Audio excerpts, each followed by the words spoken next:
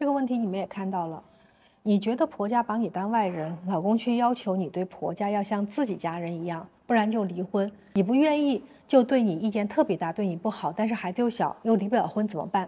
这种情况，我个人认为可能有两个原因。第一，他就是故意找茬，不想碰你，就是想和你离婚。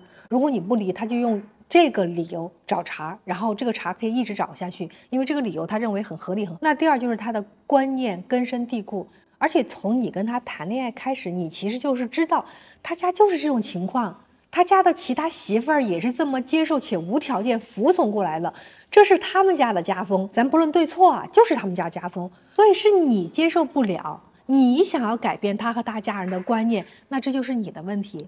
那对他这两个想法，我觉得你得有一个认知：第一，就是过年聚会媳妇儿都不能上桌，闺女做主，他一直没觉得有问题。这句话说明什么？说明就是他和他家人的想法真的是比较难改的。而且你越和他的这种想法对抗，他就越会强化你就是不把他当家人的想法，他就是会认为，既然你不想跟他们成为一家人，那你就是错的，你就应该离开。那第二是这句话，如果我不能像他一样对待他家人，你们俩关于如何对待家人这件事情商量过吗？你具体了解过你老公希望你什么地方像他一样对待他家人吗？你俩有没有具体聊过？我个人觉得你俩没有具体的聊过，就一二三的聊。也没有协商谈判过，你就单纯的坚定跟他斗，最后你肯定会输了这段关系的。那第三是这句话，我做的不好，所以他不想亲近我。这句话再次说明你俩对好的标准是不一样的。有了这个认知，那我建议这件事情可以有两个方法去处理。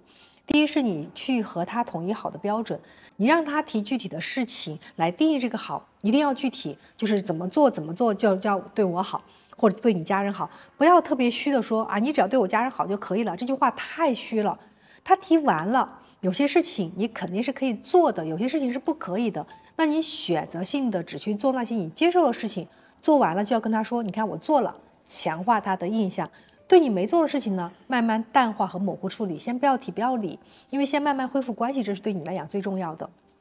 第二个，不用纠结他怎么对你，他的目的是和你离婚，你的目的是不离婚。那你先不要管他的目标，不要管他的目的，你管好你自己的目的就行了。在不离婚的这个大前提下，他还有哪些方面是你必须要用到的，你就着重的去解决你需要用的那方面就好了。